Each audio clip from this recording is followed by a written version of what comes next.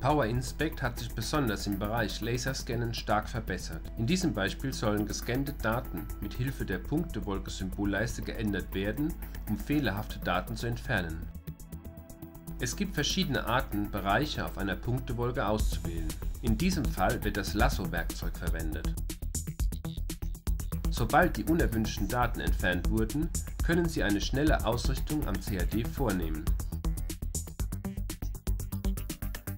Diese Punktewolke kann dann auf die CAD-Daten berechnet werden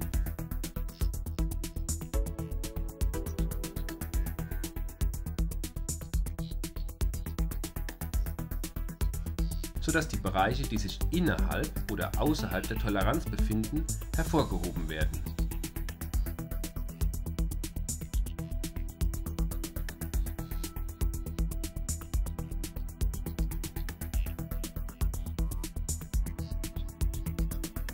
Sie können Merkmale wie Bohrungen und Kugeln extrahieren, indem Sie Bereiche der Punktewolke auswählen und Bemaßungen erstellen.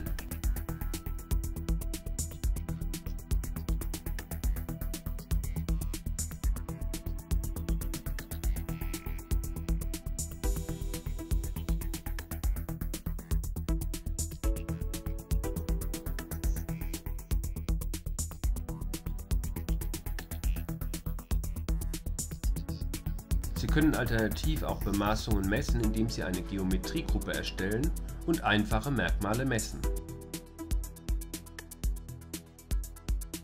Hier wird beispielsweise ein Kreis gescannt und automatisch mit den Daten aus dem Sequenzbaum gemessen.